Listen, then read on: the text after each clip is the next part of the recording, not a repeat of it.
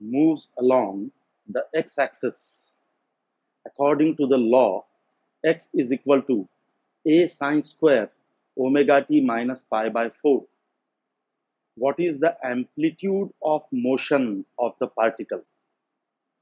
The equation of shm is given as x is equal to a sine square omega t minus pi by 4 and we have to find the amplitude of SHM.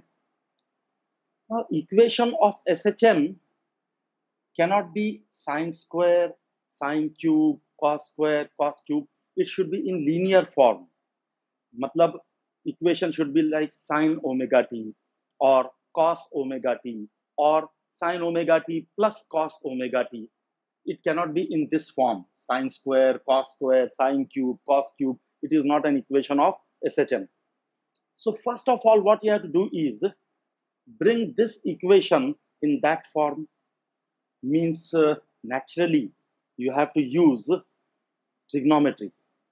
We know that sine square 2 sine square theta is 1 minus cos 2 theta this is a, a formula in trigonometry.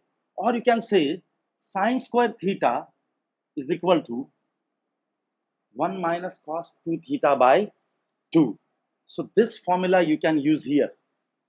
Therefore, this equation will become x is equal to a into, in place of sine square theta, we'll write this 1 minus cos 2 theta is omega t minus pi by 4 by 2.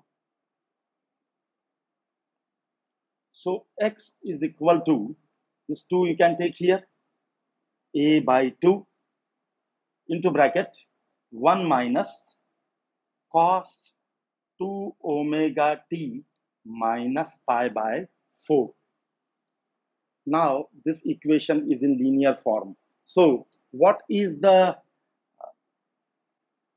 Frequency angular frequency it is to omega omega की जगह पर यहाँ पे क्या है two omega we have to find amplitude so what is the amplitude from this formula it is a by 2 so the amplitude of this motion is a by 2 so your answer is a